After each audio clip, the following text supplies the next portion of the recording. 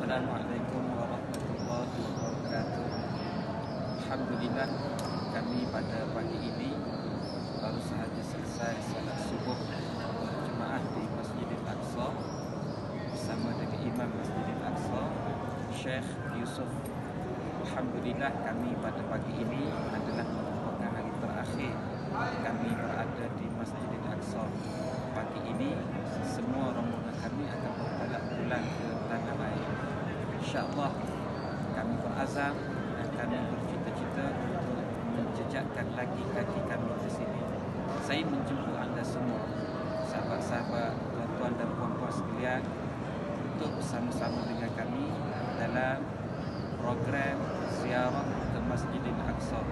Merasai sendiri suasana solat di dalam Masjidil Aqsa pahala yang berlipat kali ganda insya-Allah sebagaimana yang disebutkan di dalam Nabi sallallahu alaihi wasallam. Assalamualaikum warahmatullahi wabarakatuh.